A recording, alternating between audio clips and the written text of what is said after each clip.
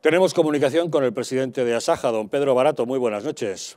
Hola, buenas noches. Bueno, en primer lugar, enhorabuena por el éxito de ayer. ¿Cómo valora usted la concentración que vimos ayer en Madrid?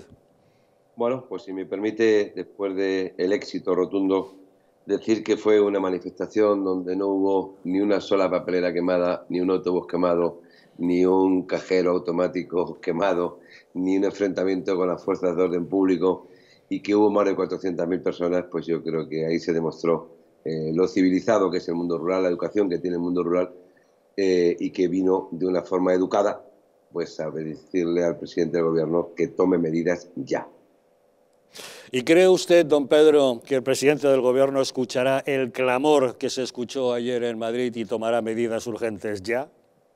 Bueno, yo creo que nos tiene acostumbrados a, decisiones que nadie espera, las toma por la noche sin contar con, el, eh, contar con nadie, ¿no? Ojalá y que las decisiones que tiene que adoptar para el sector agrario, aunque no nos consulte, pero que las tome, ¿no? Porque desde luego donde está, donde está, donde hasta hoy, mejor dicho, eh, ya las ha tomado un país como Francia, pues ha puesto medidas para los pescadores, para los agricultores, para los transportistas, para los que tienen una, excesa, una excesiva dependencia de la energía. Eh, yo la verdad es que quisiera creérmelo, pero conociendo a lo que nos tiene acostumbrado el presidente del gobierno, mm, creo que mm, va a ser eh, o va a cometer una irresponsabilidad. ¿Qué es lo que esperaría usted que el gobierno hiciera de manera inmediata?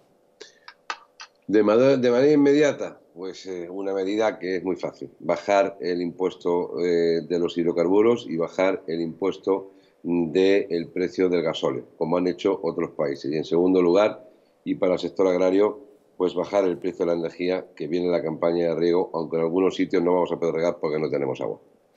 Eso, como usted bien dice, lo han hecho todos los países de nuestro entorno, todos los países europeos. Y es algo que Pedro Sánchez podría haber hecho la semana pasada en el Consejo de Ministros, simplemente reduciendo o eliminando, aunque fuera temporalmente, los impuestos que graban tanto a los carburantes como a la energía.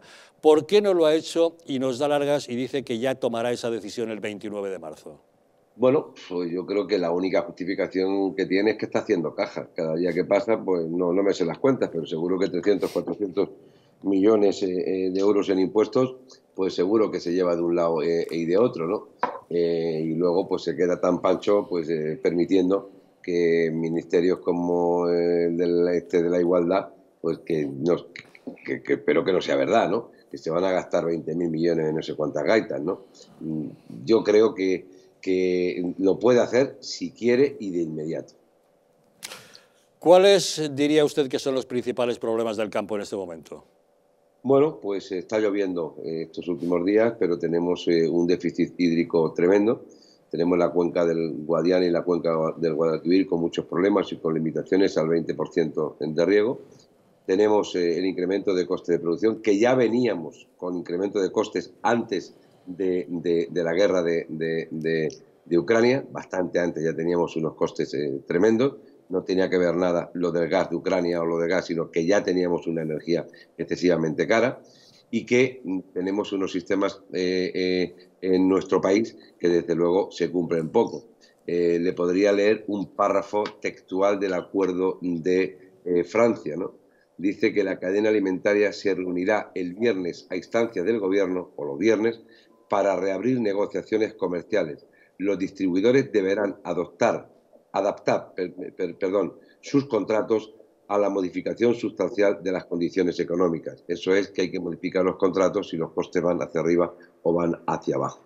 Este es otro de los grandes eh, problemas que tenemos en el campo, que nosotros no podemos repercutir eh, los precios eh, que, tenemos. Estamos viendo lo que está ocurriendo estos últimos días con la patata, con la lechuga, con la naranja. bueno, hemos visto naranjas a 16 céntimos que valen desde luego, eh, eh, un kilo menos que cualquier eh, chuche ¿no? o chuchería. Y luego hay otros temas que otros países también lo tienen y que, desde luego, todo el tema de la base impositiva que tiene el sector agrario, yo creo que podía darle una vuelta.